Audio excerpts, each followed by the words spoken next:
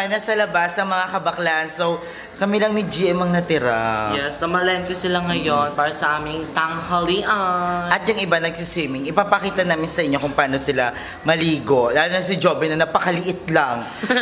Ah, Andun lang siya sa hagdanan nung... Ano, penguin na naglalakad eh.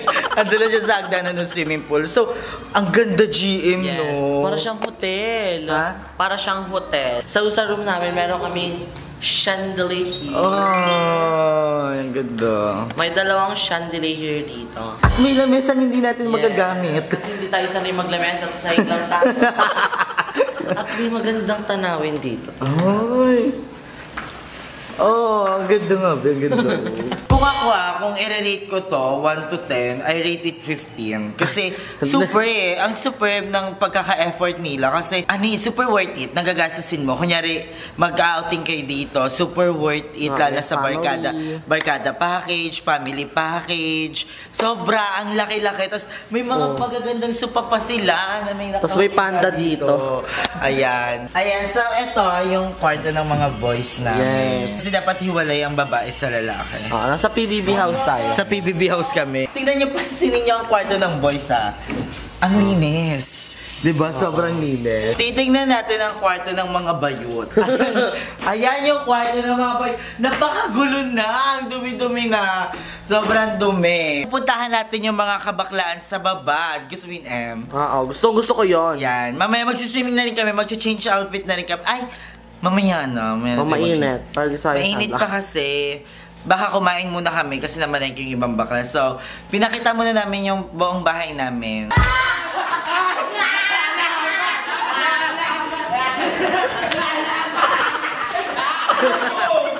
Ito po ang unggoy na matagal lang namumuhay. Paki pakikita, pakita, pakita ang unggoy.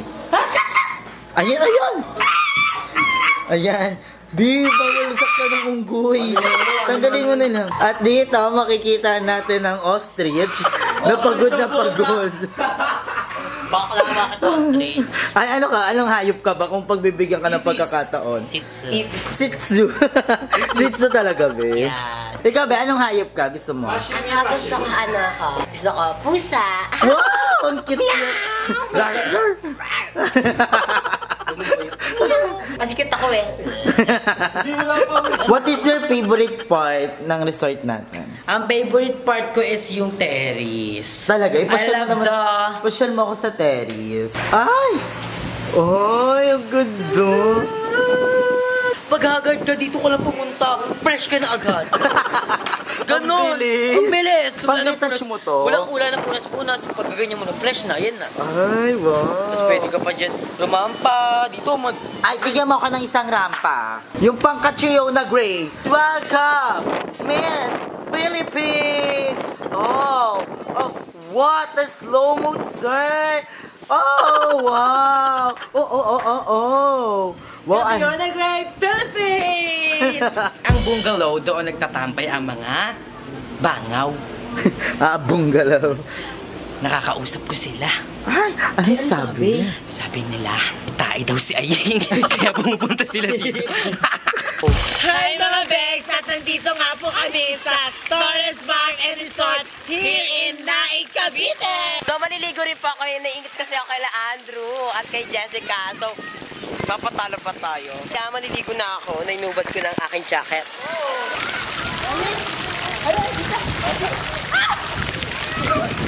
Hi, Kunsay, Taray, Marimar, Marimar. Yes. I love the flower. Paano mo pinatubo yan? Yun? Malupa ba sa ulo mo kaya may bulaklak? Hindi naman. Bagay naman sa akin. Tama, mali. Tama! Tama! Tama! Yun, Para kang- aye! Para kang pasong basay. Ulo. Ay, charot. Hindi. Emela, Emela. Mag-FO na tayo. Ganda mo. Ay, ang kaganda ng ate ko. Sawadee ka! Ang gaganda. Thailand! Kala niya ito yun? Kapon ka. Kapul ka! Kampun ka! Hello, ang attitude naman nila. Nakabra! Dalaga ka na, Nining. Lalaki na dito ako. Pero mo sa kanya yan, ikaw magbra. Ete, ah, ete. Hi, Em. Alam mo ba, flower ka na, Bi? Hi, Aye! Ano masasabi mo na sa Paris na tayo? I'm so very happy kasi ang tagal naming nag-ipon for the passport tsaka for flight. Grabe, ngayon nandito na kami sa Paris at ang liit lang pala niya sa personal. Tingin nga, patingin nga, patingin nga. Liit. Princess Bebang, Princess Bebang. Bakit aye? Sino yung kasama mo? Si VN, si Andrew. Ala, ang ganda ng castle mo, Princess Bebang. David, dapat lang. Di niya ang kasal. Ano niya yan? Yaya lang siya dyan. Ah, yaya lang. Ang pangit ang ugali, te. Andyan si Limuel. Hanapin natin Tara, si hanapin natin. Siya ang surot dyan. Hanapin nyo. Dapat itanggalin ang corona at ilagay sa ulo. Ah, nakadikit. Prinsesa, ba't ganyan ka po? Parang kulang ka sa aruga, prinsesa. Napabayaan ni Mama. Swimming na po kami kasi di ba kami nakapag-swimming kasi sobrang tirik ng araw. Baka mangitim kami, malapit na magpasko, mamshi. May ganap tayes, may Christmas party tayes. Bukas na yun? Dito sa Torres Farm and Resort, meron dito mga balsa. Pwede kayong magbalsa, di ba? May swimming pool na, meron pang lawa, napaka-porpo. Napansin ko din dito sa Torres Farm and Resort, ang daming nagpe-pictorial. Kasi sobrang daming, ano, Instagram, ano ba? Instagrammable. Instagram worthy, yan. Ang daming Instagram worthy dito. Tama ba? Kasi parang alam ko Instagrammable. parang ewan ko. Baka bubble. Ang theme ng resort na to is pang world, ano talaga. World tour. Yung mga destination ng iba't ibang bansa, may pyramid, may Statue of Liberty. May Marlila. Oo, may ganon. Merly Lion. Ano yung Merly Lion? Merly? Merly Lion. Merlinda. Tara na, tara na. Ano? Saan yung tsaka Lion? Saan muna yung Merly?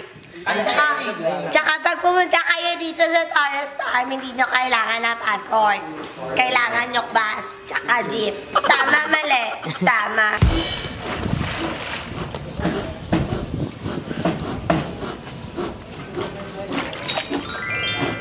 Yosa. So ngayon, nandito kami sa isa pang swimming pool ng Torres Farm and Resort kung saan merong, anong tawag dyan, be? Mosque. Totoo ba? Mosque. Ano, anong kwento dyan, Andrew? Sabi ni Madam, may kwento dyan. Yung hari na mayapa yung kanyang prinsesa at niregaluhan niya ng ganyan. Wow, totoo ba? Oo, sabi ni Madam. Alam mo, ang ganda dito yung parang pang mayaman na swimming pool, yung parang walang linya, yung parang mga nasa terrace. Pang mayaman. Pang mayaman! Anyari sa'yo? Ito, pasukan. Ito ang pinakamagandang resort na napuntahan ko, promise. Ikaw, Andrew. Ito rin, the best. Lahat ng country na nakikita ko. Grabe, napaka, ano, ang ganda ng swimming pool. Tingnan mo, Chick, kasi parang pang, ayun na may mayamang babae doon, oh. Looking forward ako na after a year, sobrang ganda na neto kasi ang dami pang ginagawang mga establishment dito sa dito Torres sa Farm. Torres Farm and Resort. Ang dami.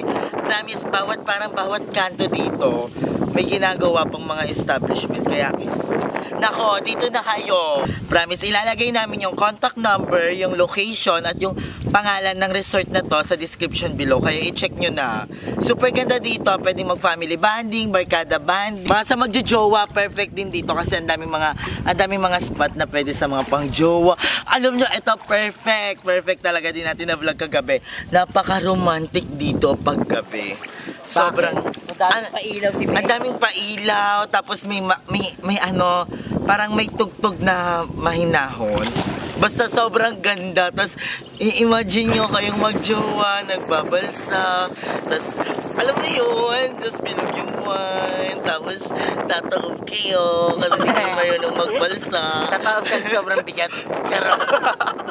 Charot, Hindi naman ako sasakay din. Ba't ganyan ugali mo? so, ayan, sobrang ganda dito. ah, Na-enjoy namin to. Wait lang, may maganda pa tayo no. Hi, Cindy. May camera. Ganda. Pull natin yan. Ala, ang ganda.